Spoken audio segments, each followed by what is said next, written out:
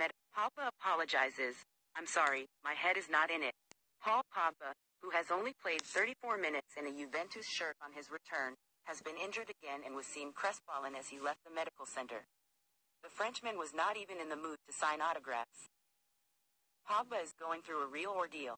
The Frenchman, who returned to Juventus from United last summer, was injured in preseason with a knee problem and did not make his debut until just a fortnight ago. However, the midfielder's joy was short-lived because he has been injured again.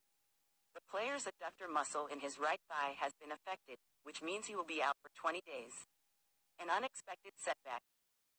Pogba, who has only played 34 minutes so far this season, left the Juventus Medical Center looking crestfallen and was not even able to sign to the fans.